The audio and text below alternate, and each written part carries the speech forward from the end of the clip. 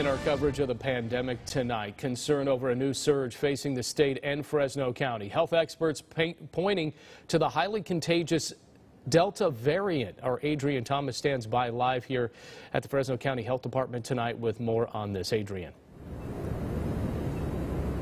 Alex on Stephanie, just this afternoon, the Fresno County Health Department reported there are currently 116 hospitalized COVID 19 patients in Fresno County. Now, they say this is a sharp increase after a steady decrease in hospitalizations since February. Local health officials say we all need to take precaution regardless of our vaccination status we are uh, really entering another surge. Um, this is happening uh, across the country and across the state. A surge caused by the Delta variant, according to public health officials. Interim health officer at the Fresno County Health Department, Dr. Rais Vohra, says he's urging people to wear masks indoors regardless of vaccination status to help slow the spread.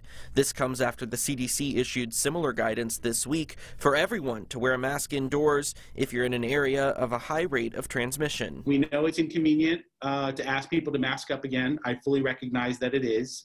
However, it's a really small inconvenience compared to uh, the benefits that it has. Another troubling statistic the county health department reports since May emergency room visits due to COVID 19 symptoms have increased dramatically for those 18 and under.